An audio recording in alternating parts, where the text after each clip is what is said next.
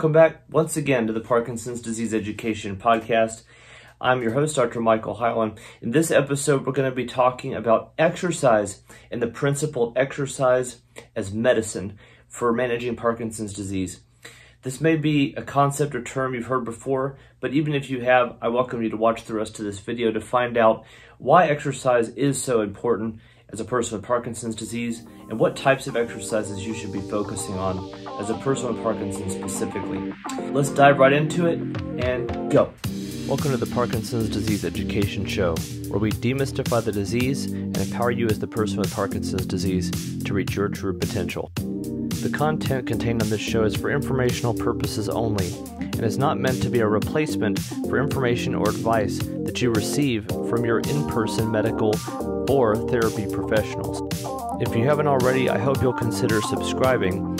And for an even more personalized experience, please ask us about our memberships. Now, without further ado, let's start the show. All right, everybody, we're going to dive into exercise. And as you can tell, I'm fired up about this conversation because I'm passionate about this topic, particularly as it relates to Parkinson's, because I'm a doctor of physical therapy, and exercise is something I love to talk about, specifically when it pertains to Parkinson's, as this is a population of people I have a passion for helping. So just to let you know what's on the agenda for this video, this is essentially going to be a compacted version of a talk I've given on Parkinson's to support groups and education forums and so forth, uh, where piece, people just like you are sitting in a room listening. But I'm going to try to compact it into about a five to 10 minute video so that you can get as much out of this as possible in the shortest period of time, but still have a lot of good information. First, we're going to be talking about how exercise is not just important, but it's crucial when you have Parkinson's disease.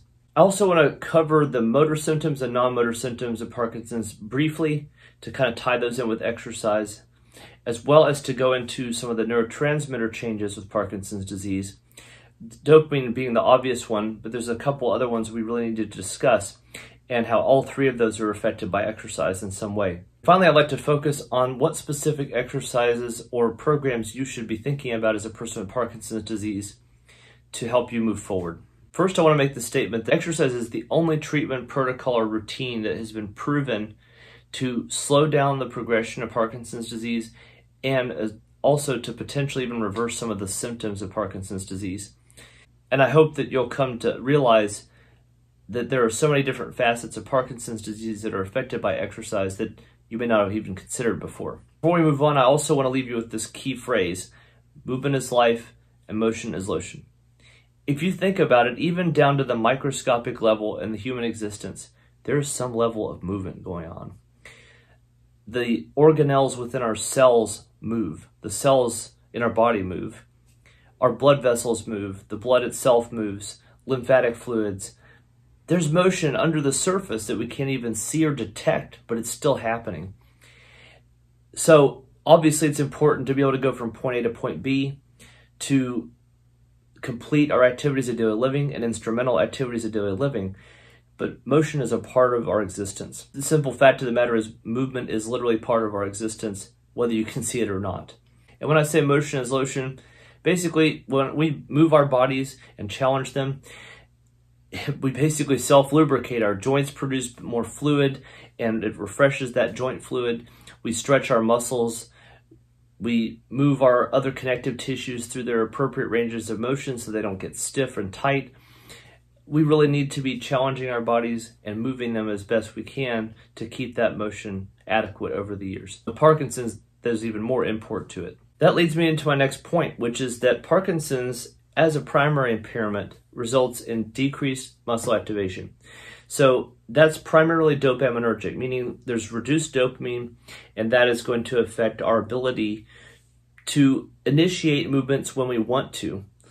For example, that's what leads to a lot of the primary motor symptoms of stooped posture, slow movements, small movements, things like shuffling steps, rigidity of muscles, joint stiffness, breathing problems, swallowing issues, facial expression problems, and more. Conversely, lack of dopamine also affects the ability to stop movements that you want to stop or, or muscle contractions that you want to relax.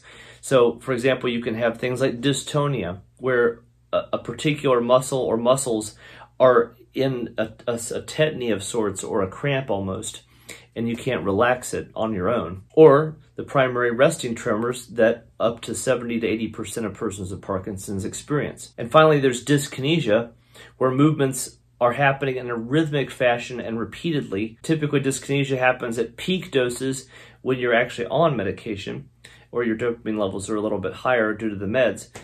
And it could also happen in what's called diphasic dyskinesia, where you have it at the beginning, where you're uh, wearing off, and at peak dose. So the non-motor symptoms, by and large, are a result of autonomic nervous system damage due to Parkinson's disease.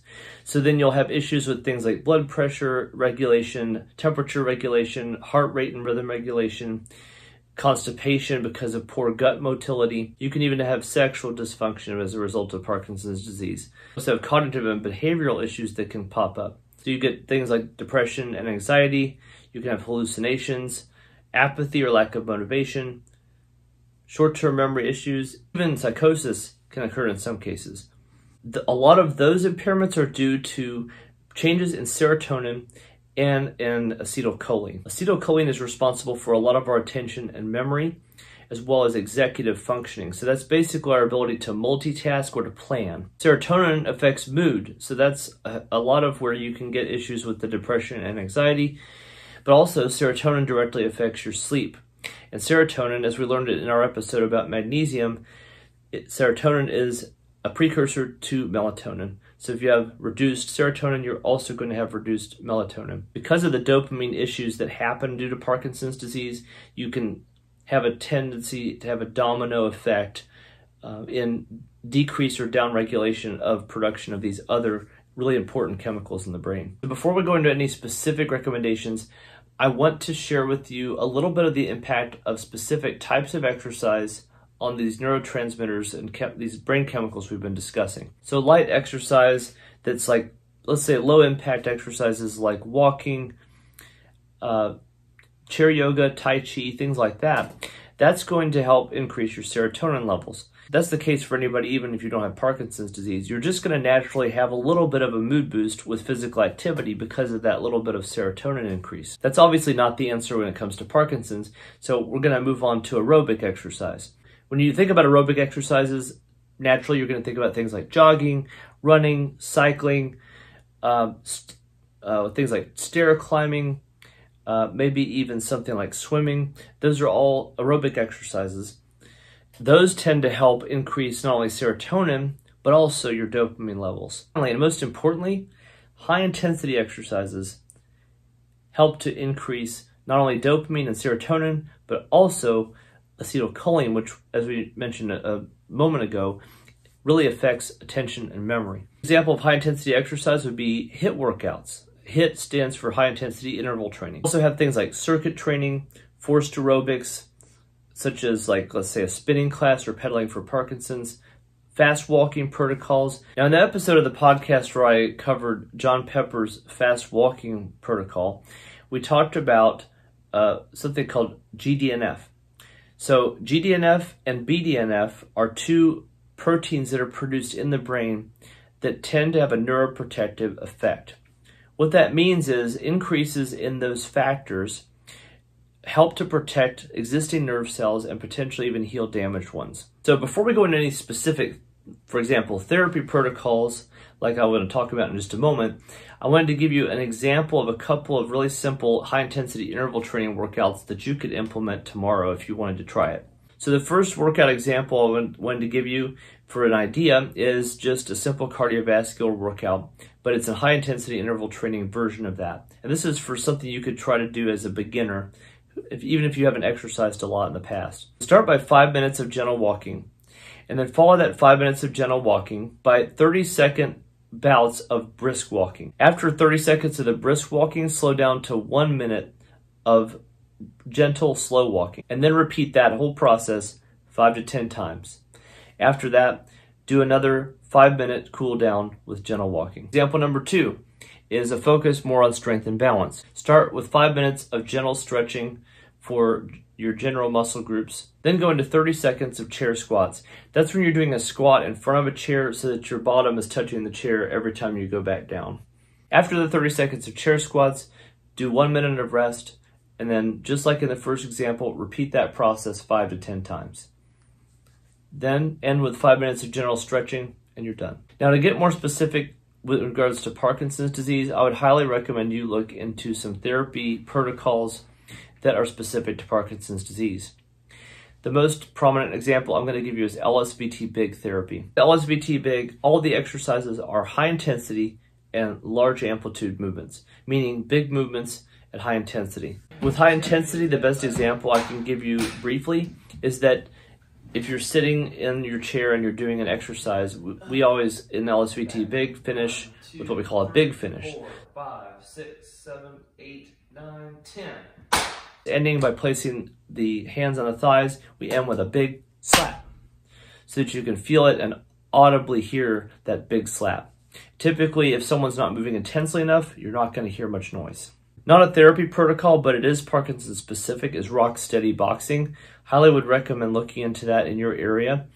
Rock steady is more, way more than just boxing. Course boxing is the main part of rock steady boxing, but it incorporates a lot more than just boxing, including fine motor activities as well as cognitive or brain games. With LSVT Big, even though it is a therapy protocol and power moves as well, there are group versions of those programs that you can find after you graduate from a therapy program. Whatever you choose to do, the bottom line is you need to adapt a lifestyle of daily exercise that challenges you.